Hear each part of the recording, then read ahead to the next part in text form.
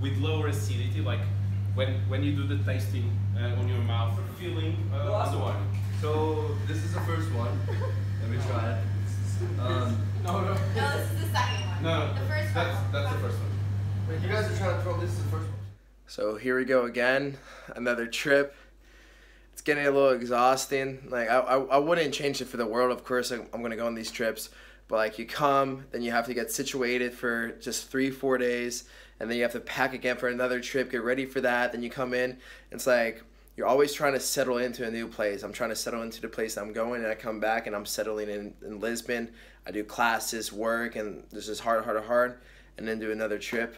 But um, this one's gonna be with uh, to Madeira, so I'm going with some um, of my French friends. They speak French, but they're all from different parts of the country or all uh, different parts of Europe. Um, and it's gonna be a good time. We're gonna go for four days. So tomorrow it's gonna be Friday morning. Our flight's at seven, and then we're gonna come back Monday at night. So I'm missing uh, one day of class, but it's gonna be a good time. I got some uh, inter- I got my Gartner interview that I'm preparing for, which I've been. I'm on my third round now, and hopefully, uh, hopefully I get it. And then I have like a couple of school stuff that's due at the end of the um, end of May, which is basically in one month. So I'm just gonna be working on those as well. I'm finishing up my packing now. Um, and then here we go.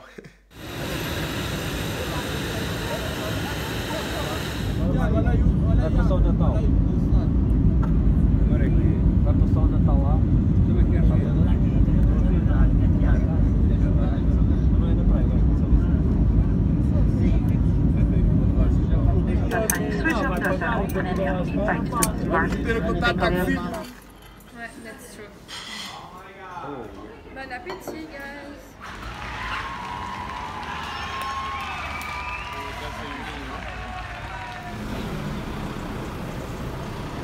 Wow, that smell.